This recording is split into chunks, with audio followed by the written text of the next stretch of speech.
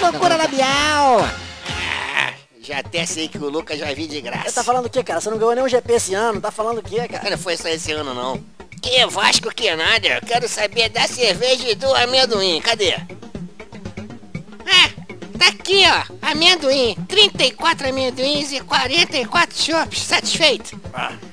É, é, você que é o coelho da Páscoa. Pois é, rapaz, é você que bota ovo, né? É, nós. Aí você vê mesmo que o cara já largou tudo, chutou o balde quando dá uma entrevista, com a bermudinha curta e a camiseta da filha.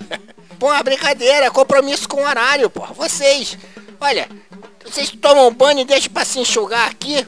Pô, você enxuga em casa, pô. Ah, como vai? papai. Ô, meu filho, como é que tá? Opa. Ó, que cara estranho. Você ficou, ficou emocionado com o encontro de pai e filho aqui na quadra?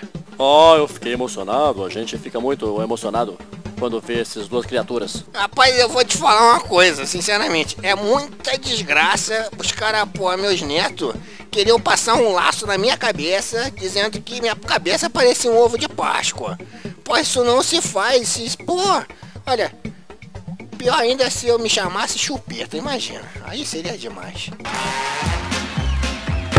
Ai, bola nas costas.